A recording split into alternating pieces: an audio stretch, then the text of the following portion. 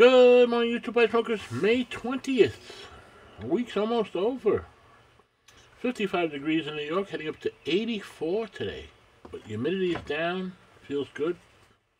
Hope you're doing well. Hope you're having a great week. Week's almost over.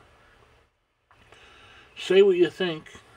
Plenty ought to be enough. Every little bit helps. Be humble and polite. Practice forgiving. Get outside. Lose that stupid mask finally. They're lifting the ban even in the crazy New York. Finally, feel like you can breathe again. Be well, stay safe, and get outside. Thank you.